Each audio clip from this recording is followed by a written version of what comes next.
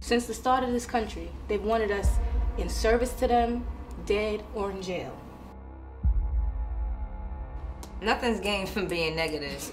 I'm gonna need you to come up with some solutions. I don't need you to be mediocre when others are gunning for your spot. I don't want a job. I want to start my own business and become my own boss. If they don't answer in the next 30 minutes, I'm gonna cancel the signing. No, no, no, don't cancel. I know recruiters are looking at you for playing basketball. I can't imagine what she's feeling, but I know she loves you. Hands up! Hands up! Hands up! I was just also, also, listen. You what, Amari? What happened? How did you get arrested? I'd say his freedom is worth at least 500.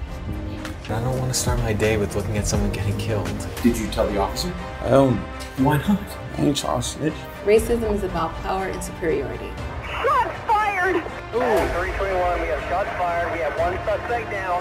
Black people don't have the power to stop anything in this country. Do you think we see the world differently?